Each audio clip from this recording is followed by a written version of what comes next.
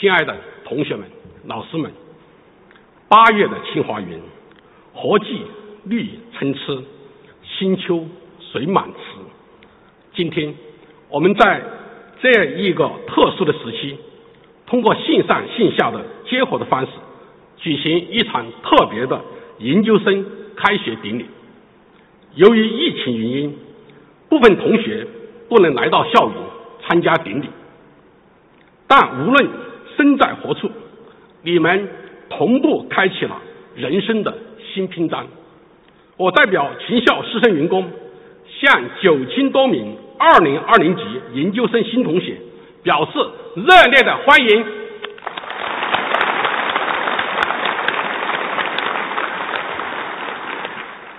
二零二零年将成为人类历史上的分水岭。新冠肺炎疫情给人类社会带来了巨大冲击。党中央坚持人民至上、生命至上，全国人民共克时艰、众志成城，疫情防控取得重大战略成果。世界各国人民勇敢前行，风雨同舟。展现了人间大爱。同学们，在灾疫面前，你们经受住了考验，确立了人生努力的新方向。同时，你们感受到了生命的可贵、社会的温暖，并用实际行动诠释了青年的责任担当。你们中的黄一阳同学，用镜头记录了。武汉普通市民疫情期间的生活和基层的抗疫行动，在长达一百七十五小时的影像资料中，他记录了将自己的酒店作为隔离点，并亲自担起接待、维修和保洁任务的普通经营者疲惫的身影，记录了从荆州赶到武汉。承担医务服务工作的志愿者坚毅的目光，还记录了武汉解除封城后又能在室外晒太阳的老人们脸上久违的笑容。这些动人的片段驱散了黄一阳心中的阴霾，让他获得了治愈的力量。你们中来自埃塞俄比亚的穆勒同学。他把在大学任教的数月工资捐献出来，用于疫情防控。他还积极为那些生活困难的人募集消毒用品，帮助邻里老人购买食品。穆勒认为，这场全球危机是他人生中最重要的一堂生命课，让他懂得了人与人的命运息息相关。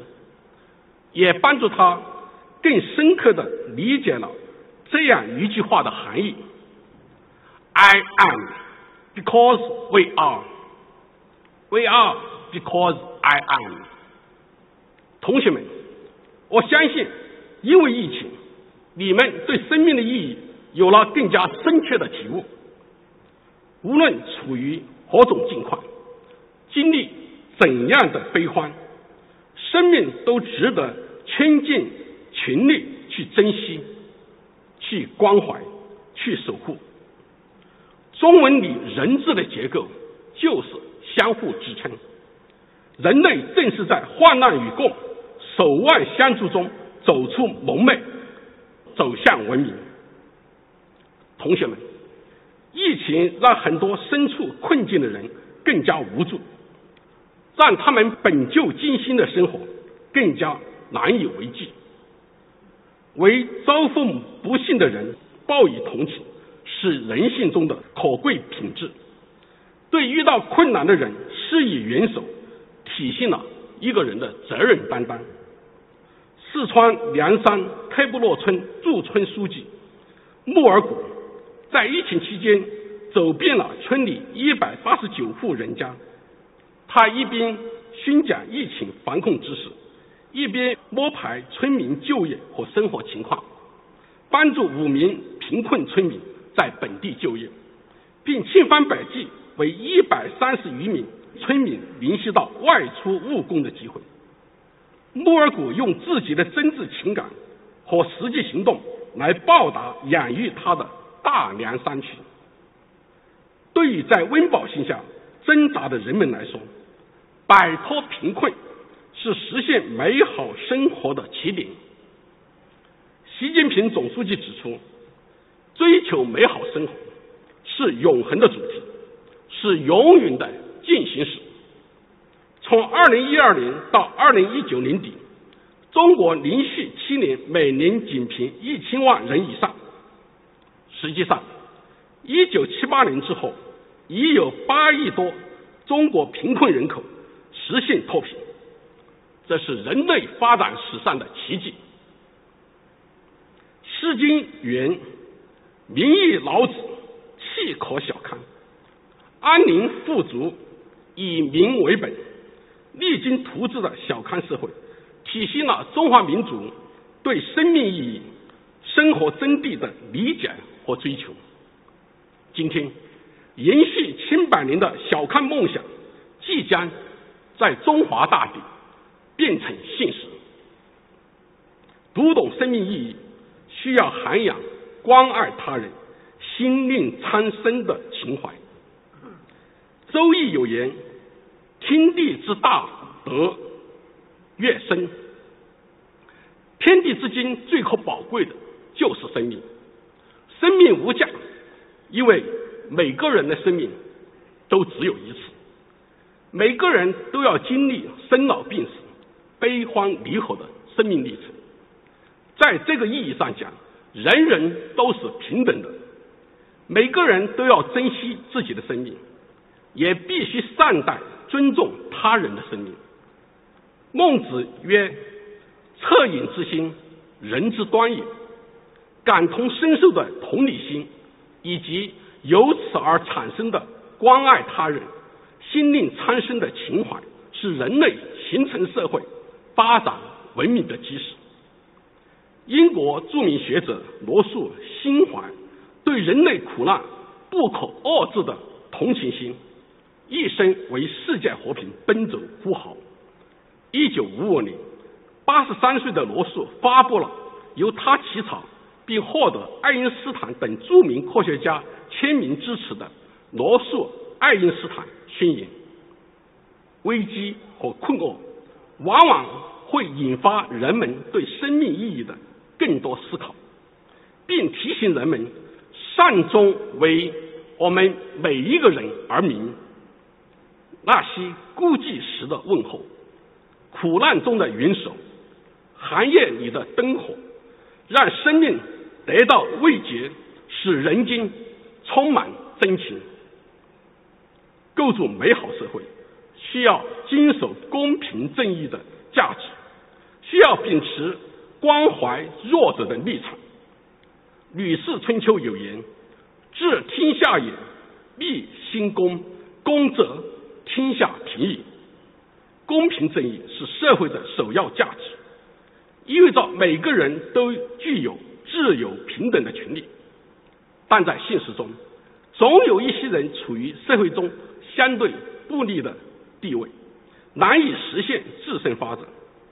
这往往不是个人的过错，而是多重社会因素相互作用形成的。促进经济繁荣。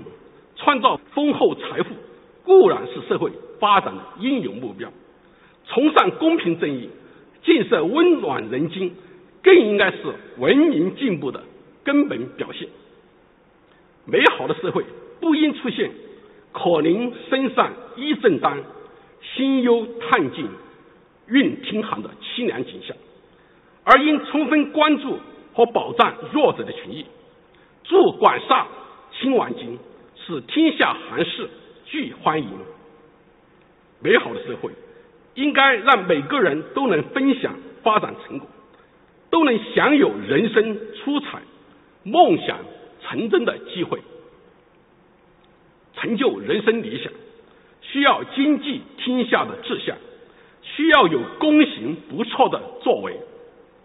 人生理想是对物质生活和精神生活的美好追求。是对所有要达到的生命境界的美好期望。每个人的理想都需要得到尊重和鼓励，但是不同的理想体现了不同的人生追求和人生境界。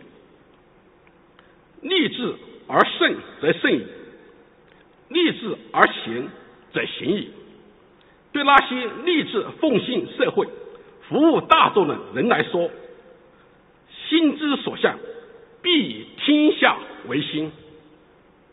首届国家最高科学技术奖获得者、杂交水稻研究的开创者袁隆平，是新中国培养的第一代农学专业大学生。一九六零年，三十岁的袁隆平经历了缺吃少穿的苦难，下决心解决粮食增产问题，不让老百姓挨饿。他致力于杂交水稻技术的研究、应用与推广，数十年如一日守望在田间地头，践行他心中最美的“禾下乘凉梦”和。杂交水稻覆盖全球梦，成就理想绝不能坐而论道，也不能脚步沾泥，必须俯下身子，沉下心去，在长期的摸爬滚打中历练成长。